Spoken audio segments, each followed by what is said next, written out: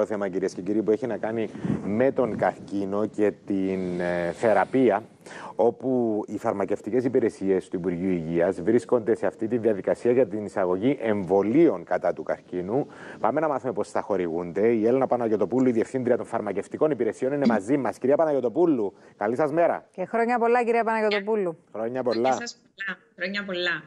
Λοιπόν, για πέστε μας τώρα για αυτά τα εμβόλια, κυρία Παναγιοτοπούλου, γιατί υπάρχει έτσι μια ε, προσμονή ευρύτερα και σε ποιες περιπτώσεις θα μπορούν να χορηγούνται αυτά τα εμβόλια, υπό ποιες προϋποθέσεις; Ναι, καταρχήν θέλω να επισημάνω ότι είμαστε σε πολύ πρώιμο στάδιο.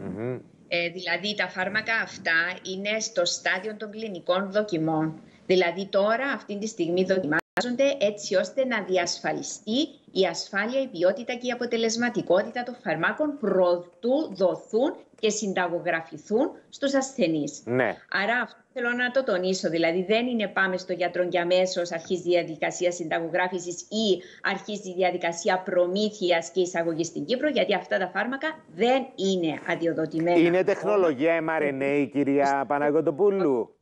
Ε, ε, και σε ποιο στάδιο κλινικών δοκιμών βρίσκονται, στο 2, στο 3, σε ποιο; Ε, ναι, αρκετά από αυτά είναι στο πρώτο και δεύτερο ε, στάδιο φάση των κλινικών δοκιμών. Ναι. Επομένως, έχουμε δρόμο ακόμα μέχρι να ολοκληρωθούν οι κλινικές δοκιμές να αδειοδοτηθούν και μετά να γίνουν οι διαδικασίες προμήθειας αυτών των φαρμάκων. Ξέρετε κάτι κύριε Παναγιωτοπούλου, αυτή η συζήτηση την κάναμε και πολύ τον καιρό της πανδημίας, όταν η πανδημία ήταν σε έξαρση για τα εμβόλια κατά της ε, COVID-19. Ε, και είναι και αυτό που επισημάνατε κι εσείς αρμόδιοι τότε, ότι ήταν ένα άλμα της επιστήμης που κατάφερε να κάνει όλα αυτές τις διαδικασίες που χρειάζονται κάποια χρόνια, να τις κάνει μέσα σε πολύ σύντομο χρονικό διάστημα για να έχουμε τα εμβόλια που θα πολεμούσαν την όσο όπως έγινε κιόλας. Ε, αυτό είναι το αντίστοιχο που μας λέτε τώρα, όμως εδώ θα γίνει κανονικά και θα πάρει το χρόνο της η διαδικασία, ο οποίος χρόνος καθορίζεται περίπου στα 2 με 3-4 χρόνια, κυρία Παναγιωτοπούλου. Ναι, ναι, ναι, καθορίζεται έτσι ακριβώς όπως το είπετε, μπορεί και περισσότερο. Να σας πω τη διαφορά με το, με το COVID. Το COVID καταρχήν ε, υπήρχαν πάρα πολλοί εθελοντές. Δηλαδή εκατομμύρια εθελοντές σε όλον τον κόσμο. Ήταν πανδημία, θέριζε τους ανθρώπους. Υπήρχε μια πάρα πολύ κακή ε, πραγματικότητα εκείνη τη δεδομένη στιγμή που έπρεπε να αντιμετωπιστεί. Mm-hmm. Επομένως υπήρχαν πολλοί εθελοντές. Τώρα με τον καρκίνο, γιατί αυτά τα εμβόλια, αν και της ίδιας τεχνολογίας, γιατί αφορούν τεχνολογία mRNA, αυτά τα εμβόλια, mm-hmm. εν τούτης, οι, οι εθελοντές, δηλαδή οι ασθενείς, αλλά και οι άλλοι εθελοντές δεν είναι πάρα πολλοί. Είναι δηλαδή μετρημένοι. Ενώ θα έπρεπε, γιατί μπορεί ο κορονοϊός να ήταν μια πανδημία που κράτησε δύο χρόνια και μας έκλεισε στα σπίτια. Αλλά, και ο αλλά ο καρκίνος θερίζει. ναι, αλλά για να γίνουν εθελοντές για τον καρκίνο, δεν βρίσκονται εύκολα εθελοντές για τον καρκίνο, γιατί δεν είναι τόσοι ασθενείς ε, που νοσούν από συγκεκριμένους καρκίνους έτσι ώστε να μελετηθούν. Επομένως, υπάρχει χρόνος ο οποίος θα πρέπει να διασφαλιστεί, ε, έτσι ώστε να διασφαλιστεί ότι τα εμβόλια τα οποία θα αδειοδοτηθούν ε, θα είναι και ποιοτικά και ασφαλή και αποτελεσματικά. Αυτά τα εμβόλια, κυρία Παναγιώτοπούλου, πού θα στοχεύουν, ναι. σε συγκεκριμένο τύπου καρκίνου ή για όλους τους τύπους καρκίνου; Ξεκαθαρίστε το αυτό. Ναι, θα υπάρχει έναν εμβόλιο για κάθε τύπο. Δηλαδή, αυτά τα εμβόλια είναι πολύ στοχευμένες θεραπείες. Ε, και είναι εξατομικευμένες, είναι personalized πλέον medicines, δηλαδή εξατομικευμένες φαρμακοθεραπείες. Είναι θα στοχεύουν τον καρκίνο, ειδικά τον καρκίνο και γι' αυτόν θα, ε, ε, αναμένεται ότι θα είναι πάρα πολύ αποτελεσματικά και λιγότερο τοξικά. Δηλαδή δεν θα έχουν Μακάρι. την τοξικότητα. Δηλαδή δεν θα χρειάζονται Μακάρι. ραδιοθεραπείες ή χημειοθεραπείες ενδεχομένως με τη χορήγηση ε, αυτών των εμβολίων, κυρία Παναγιωτοπούλου.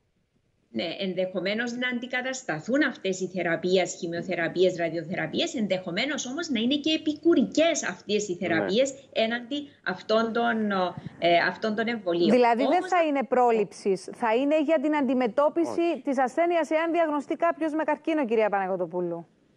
Ακριβώς. Ακριβώς. Δεν είναι πρόληψη. Δεν θα εμβολιαζόμαστε για να μην πάθουμε καρκίνο. Είναι η αντιμετώπιση, δηλαδή η θεραπεία. Και θα είναι, όπως λέτε, ο στόχος είναι να είναι αποτελεσματικά; Και ποιοτικά και ασφαλή. Είναι τα τρία που πρέπει, οι τρεις προποθέσει για να αδειοδοτηθεί ένα φαρμακευτικό σκεύασμα είναι αυτά τα τρία. Ποιότητα, ασφάλεια και αποτελεσματικότητα. Και σίγουρα η αδειοδότηση διασφαλίζει αυτά τα τρία. Δηλαδή, αν δεν υπάρχουν αυτά τα τρία ή τρεις προποθέσει, δεν μπορεί να αδειοδοτηθεί ένα φαρμακευτικό προϊόν. Και ευχόμαστε, εάν και εφόσον καταφέρει η επιστήμη να φέρει αυτά τα εμβόλια σύντομα, είτε ύστερα από δύο, ύστερα από τρία, από τέσσερα χρόνια, αυτά να παρέχονται δωρεά στους καρκινοπαθείς και όχι να είναι σε ένα, μια, ένα κόστος το οποίο να μην μπορεί κάποιος ο οποίος αντιμετωπίζει αυτή την ασθένεια να μην τα αγοράσει και ευχόμαστε να γίνει πολύ πιο σύντομα από ό,τι το καθορίζουμε και εμείς και εσείς που είστε η αρμόδια για να μην χάσουμε ούτε ακόμη έναν άνθρωπο από τον καρκίνο. Κυρία Παναγιωτοπούλου, τουλάχιστον να έχουμε ακόμα ένα όπλο στα χέρια μας. Ναι, σίγουρα είναι, ναι, έτσι όπως ε, το λέτε, βασικά αυτά τα εμβόλια από τη στιγμή που αδειοδοτηθούν και συμμετέχουμε σε ομάδες ε, ε, της ε, αδειοδότησης, άρα θα ξέρουμε, συμμετέχουμε σε επιτροπές ε, κοινής προμήθειας, κοινής διαπραγμάτευσης κτλ. Το Υπουργείο Υγείας, θέλω να πω, ότι είναι σαφής και η Υπουργός Υγείας ήταν σαφής για την πρόσβαση των ασθενών σε καινοτόμες φαρμακοθεραπείες. Άρα υπάρχει πολιτική βούληση για την κάλυψη των ασθενών, των Κύπριων ασθενών από το Υπουργείο, από το κράτος, από την πολιτεία για τη θεραπεία ε, αυτό, αυτής της νόσου ε, και ναι, ευχής έργων ε, να γίνει γρηγορότερη ε, οι, οι κλινικές δοκιμές, να αποδειχθούν ότι πράγματι ε, διασφαλίζουν την ποιότητα, ασφάλεια και αποτελεσματικότητα και σίγουρα να έχουν πρόσβαση οι ασθενείς. Μάλιστα. Σας ευχαριστούμε λοιπόν, πολύ. Να είστε καλά. Πολύ. Γεια σας.